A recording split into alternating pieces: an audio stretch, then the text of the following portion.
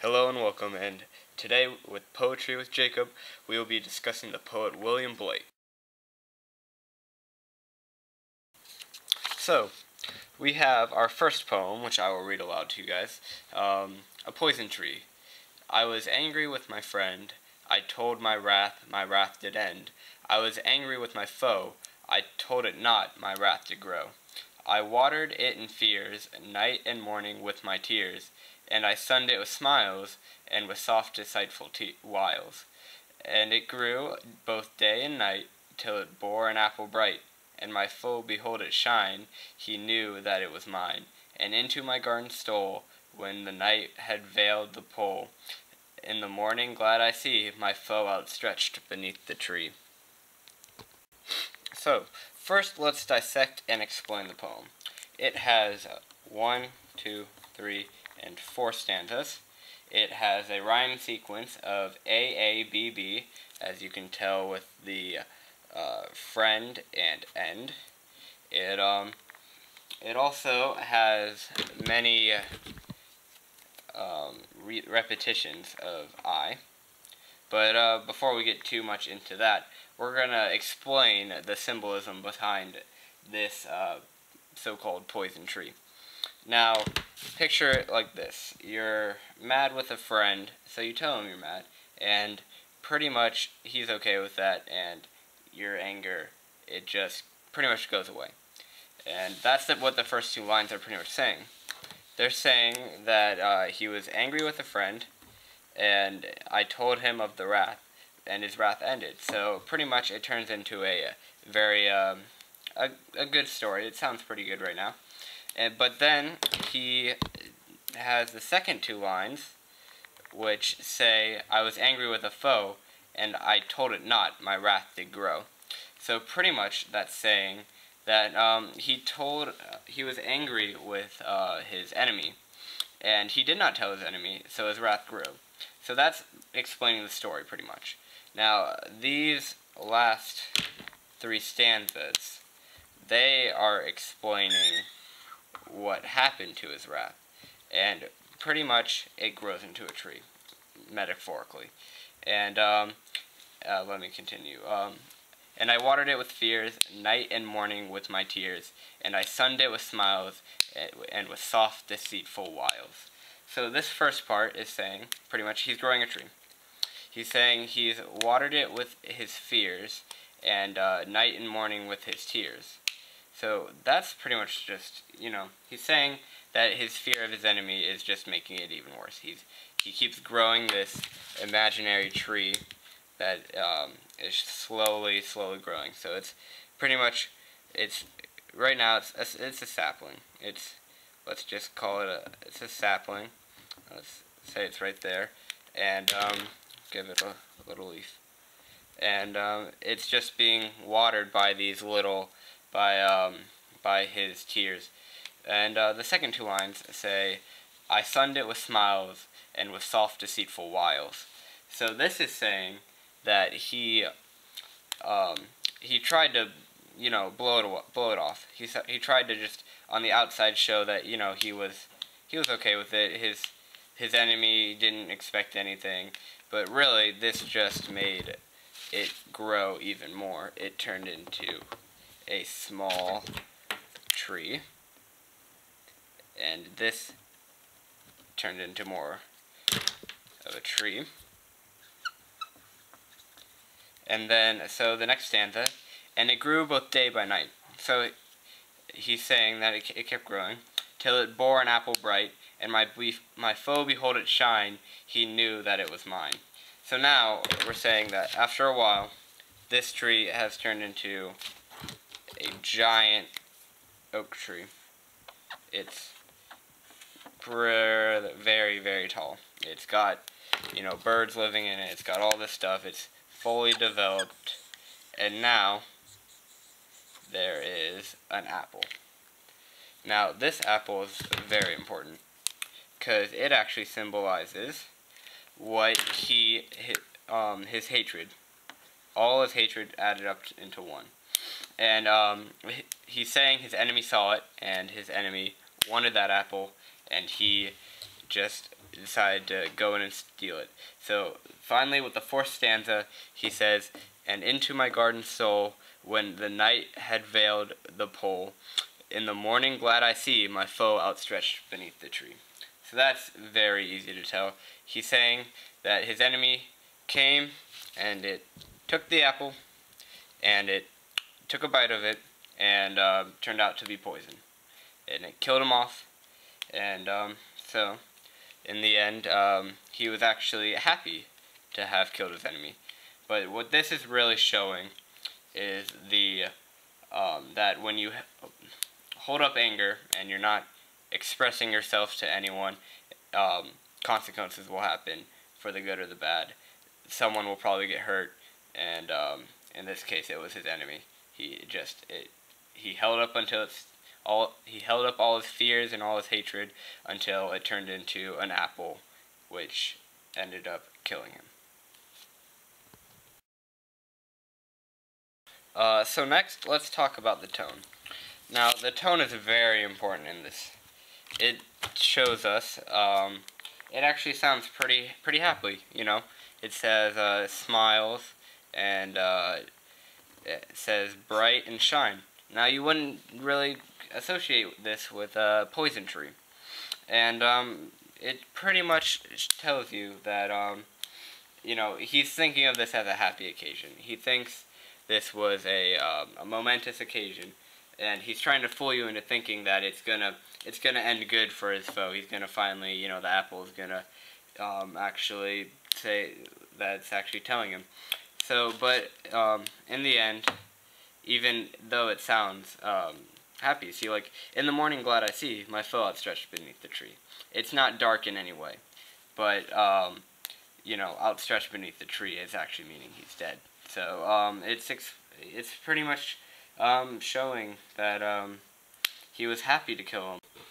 Okay, the next thing I want to talk about is the repetition in here. Now he, like I said before, he uses I a lot, and he also uses and a lot. Now these are in two different uh, stanza forms or stanzas, uh, more like the two different sections that I had told before, where it's here, and here. Now, I believe he is saying, he is using the word I to show that it's actually him. It is him who is speaking, and it is not anyone else he's talking about, it's him.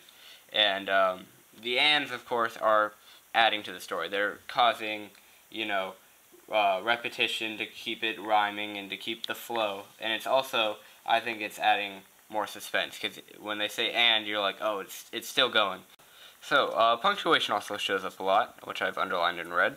And um, it, for what I think it does, is it ends, it adds pause. So you're reading, and I watered it in fears, pause. Night and morning with my tears, pause. And I sunned it with smiles, pause. And soft deceitful wiles. So it, it helps you to think upon the, the last um, the last word or line you read, you know, you, you have to think about it. So he adds these pauses so you can you can think about what he actually means. So, um, like you might just think I send it with smiles, like he's happy, he's he's glad, but when really he's it's the outward appearance and not the inward appearance. So you gotta like these punctuations actually help. They show what he's doing and what he wants to do. And um, it also adds a lot of flow, but it also makes it uh, choppy in the same way. So it's pretty cool. And lastly, what is the theme? Well, I think the theme is hidden wrath becomes more dangerous behind a seat. So pretty much what is happening is he's building up this wrath, and um, he's trying to deceive the enemy to show that you know everything's okay. Like he's smiling and he's showing this bright apple. It's not like a burning fire in hell or anything. It's an apple. And um, he's showing this because um, uh, he's telling us this because it um, it does happen. It happens when you just take it from someone or a bully or something like that. Uh, this poem is called A Divine Image. I will read it out loud. Cruelty has a human heart. and jealousy a human face.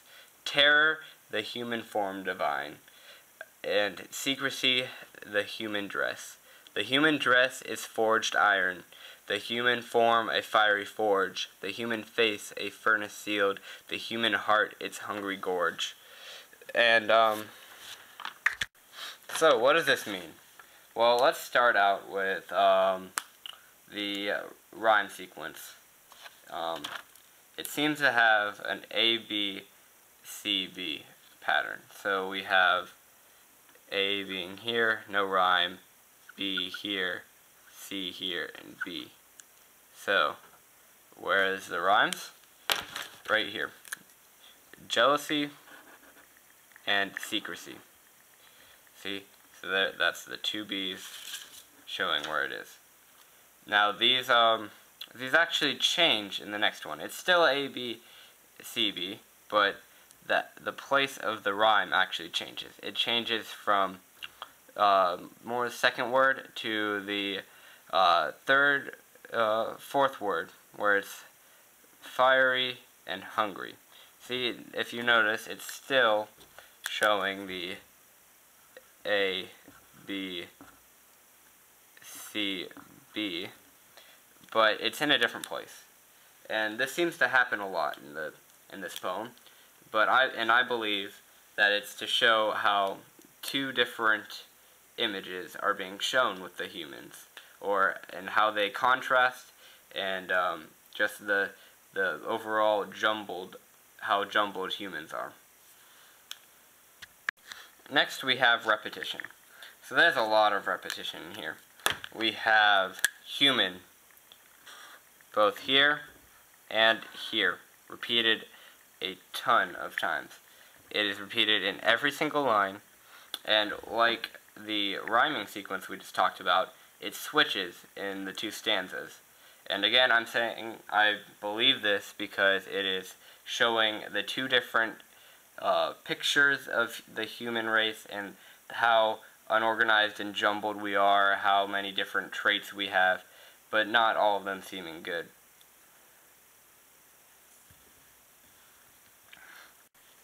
Another form of repetition is these four words. They're all heart, faith, divine, and dress. Now, these are used uh, as, you know, human body parts. They're shown here as the human uh, forms. And down here they are also used. See, as in dress and dress and form and form and face and face and heart and heart. So what is this telling us? It's telling us that it's giving us two different outlooks. Two different ways of seeing the human. But yet they're almost the same. Let me show you. So cruelty is a human heart. And let's go down to the next heart phrase, which is here. Human heart is a hungry gorge. So they're both not very nice things to say about the human heart.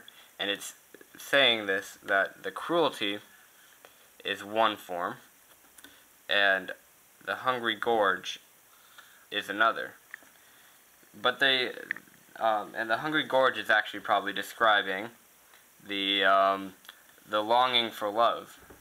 So it's the longing for love. And this is talking about the heartbreak.